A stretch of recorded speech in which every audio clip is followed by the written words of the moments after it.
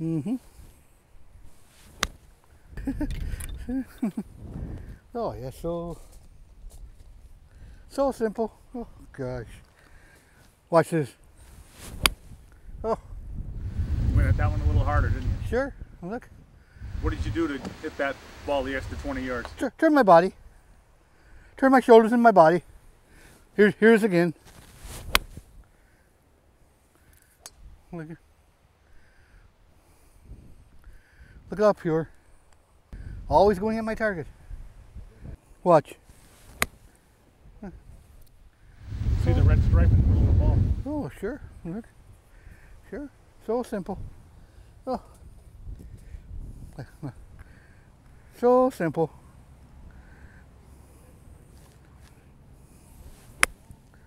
Hmm. Always at my target. Well, you were saying before something that practice doesn't make perfect. No. But on the other hand, you developed your system, your method by hitting 800 balls a day, which is a lot of practice. No, that's the hard way. I still didn't become perfect. I still didn't become perfect. No.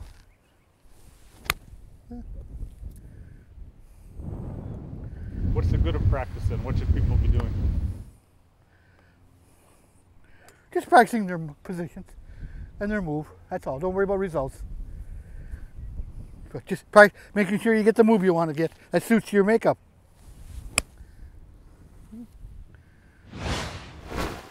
I always find it pretty interesting when Moe was asked, should, should you learn his golf swing? And a lot of times he would say, no, you shouldn't learn his swing because he knew that it was a radically different approach to hitting a golf ball and that it would confuse people. So he'd almost say, no, don't try it. I'm the only one that really can do this because it is so different than what, what other people do. But then there was times when he would say that everybody should do it. It's so simple. So he kind of contradicted himself. But one of the things, as you saw in that video, he was asked that if, if somebody was going to learn to swing, how would you learn it, right? And he says, hit your positions. You got to hit your positions. So today I want to walk you through the positions of the single plane swing and, and the, basically the checkpoints in this video series. These are the checkpoints that I look for when I videotape or I look for or train my golf swing. Now, here's the thing about getting into the positions of the swing that once again, er- the golf swing is a sum of its parts. In other words, the backswing affects the downswing, or the downswing affects your transition, and all those things. So how all this stuff needs to work together. That's why it's it's not a quick fix approach. It's a system of of playing golf. So I want to teach you through the positions of the swing, walk you through what I look for. And today, in this video, I'm just going to go through the backswing because there's a lot to go through and I don't want to confuse you with too much stuff. But let's just master the backswing motion and get on a great plane position at the top of the swing. So remember, in the first video, we mastered the address. So we have to have that right. I'll do a quick review on that, then we'll go into the backswing position here. So here we go at address. So I'm going to go ahead and set up, and you can see that I've created that nice alignment of the lead arm, and down the line I got that nice alignment of the trail arm. So I'm getting that perfect address position. Now keep in mind, I had a few questions from that last video on this. People are asking, what are these training aids? Look, one of the most important things you can do when you practice, if you come to our schools, you come to the academy, I am going to make sure that when you practice that you get feedback. What do I mean by feedback? Well, feedback is making sure, because here's the thing. What, it, what if I ask you this question? When you practice, do you absolutely know 100% that you are practicing correctly? And I haven't had anybody really know that until they start using video or training aids, knowing, yeah, if I hold this training aid and I have this alignment trainer which teaches you ball position and stance position, and I have these products around, or I have a coach in front of me, or I have a video that I'm practicing perfectly. That was a big part of speeding up the learning process here, is to make sure you get some type of feedback that you are practicing correctly. So I always keep that in mind. That's why you see me with these, with these devices and these training aids. They're method specific. These are built for the single plane swing. So I have built products specifically to teach you what I teach. Uh, you can't find this, this stuff anywhere else, so that's what I built it for. Now, let's go into the address again and we'll go right into the backswing here. Now, I think that once you master the address and you get this down, that the backswing actually is pretty easy because the backswing moves to position one just through a rotation around the trail leg. Now, that's just a rotation as I stay in my tilted position. Notice that, that my tilt position maintains as I go to that position one. And you, you're going to see kind of an extension there of the arms, and you see me pivoting around that trail leg. All the pressure is the inside of the leg. Now, believe it or not, here's why this is such an important movement. A lot of people take this movement for granted, but this is such an important movement. Why? Because two thirds of the backswing rotation, two thirds of the movement of your torso and pelvis, two thirds occurs in that motion right there. So a majority of the backswing is happening in that point. And I'll, I'll go through that one more time. So this is a very important movement because two thirds of the motion goes to here. And then now from here, there's very little pelvis movement. Mostly this is arms and hands and a little bit of right arm and right shoulder. The left shoulder doesn't move very much. See that from there?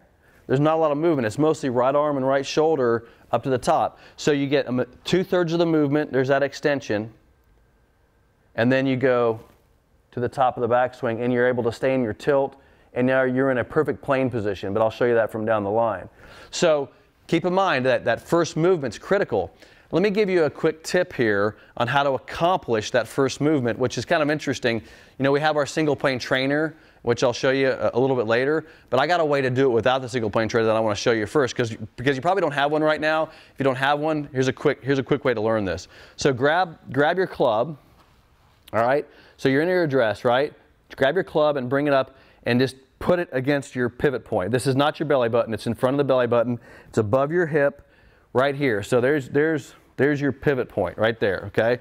So, and I want you to hold it there, and I want you to go ahead and place your hands on the club. So you've created the same alignment, but, you, but you're just taking the club off the ground and you're holding it against the pivot point. Now, what I want you to do is while you're tilted, so nothing looks different there except my club's off the ground, I'm turning. There's, and now, now notice what happens here. When I turn, okay, it's still against my pivot point, correct? So I'm turning and it's staying against the pivot point. But here's, what, here's what's interesting about that. It's, it's staying spatially the same space from my body. That's what's so important about that. So it's not this. You didn't pull it in like that. You didn't lift it up like this. You went like this. You simply just turned. That's why people say it's a one piece takeaway.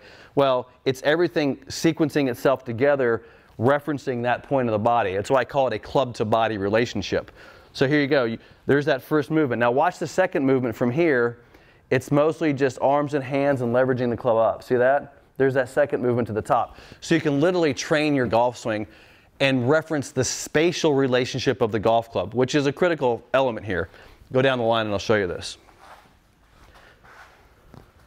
Now, that spatial thing that I'm talking about, let's, let's, let's talk about that for just a second. Why was Moe such a great ball striker, and why is the single plane swing a better and easier approach to getting to impact? And it's because of this thing I call the spatial relationship. You know, Moe stood further from the golf ball. We all see that, we all know that. But what he did was he put himself in a plane, in the plane position, which allowed him to return to the same spatial relationship at impact. If you're returning the club shaft to the same spatial relationship, you can get to the same spot every time, you can be more consistent. That's the opposite of what conventional golf teaches. And I'm, I'm going to kind of regress a little bit here because this is 2020 and I want you to, this is the second video for the year and I want you to understand this, is that, is that the conventional golf swing has a fundamental problem at the address. It's a spatial problem. We call it two planes because the arms are hanging straight down and the golfer is too close to the ball. So in order to hit it, he's got to create space. He's got to go up. He's got to lift his body to allow for that shaft to lift, right? So he's accommodating a spatial problem. That's really what's happening there. The two planes creates an angle, a spatial problem. He's got to somehow correct for that. You'll see players like Laura Davies, both feet off the ground. Mark O'Meara, both feet off the ground. You'll see some players like Lee Westwood, the arms will bend going into impact. You know, every, every player, most players lift and straighten the leg. Most people lift and straighten the leg. So you're seeing a lot of different accommodations for that major flaw at address. So that's why this is a, the goal is simplifying how we do this. So let's do this again from the down the line view. All right, so we have my perfect single plane address. Now, from here, watch this. I'm just gonna turn into that position one. There's extension position one. There's, that's basically going to that position one, then I'm gonna go to the top position two. and you'll notice I'm right on plane there at the top of the backswing. So, so it goes in inward motion. That's a, that's a, and I, I'm going to say inward, but I'm going to show you here in a second what that means. So the club goes in, and then there's that second movement to the top. Now I'm going to do it with one, one motion, which looks like one motion, and then I have a perfectly planed top of the backswing. Now let's do that same little experiment here where I took the club, put it into my pivot point, put it down towards the plane there. It's the same alignment. There we go. See how the spatial relationship stays the same? And then to the top, I'm hitting the same position at the top. So that's a little experiment for you to teach you the spatial relationship of club to body, which teaches you the natural motion of the club going in and to the top. And notice how the club moves to the inside in that motion. It's a natural motion. If you put the club against the pivot point and you simply turn, that's the path the club should go on. So you're not trying to do that. It simply goes there from proper address and proper rotation. So that's the lesson for today. Backswing, spatial relationship, getting the club on plane, and I look forward to seeing you in video three of this series.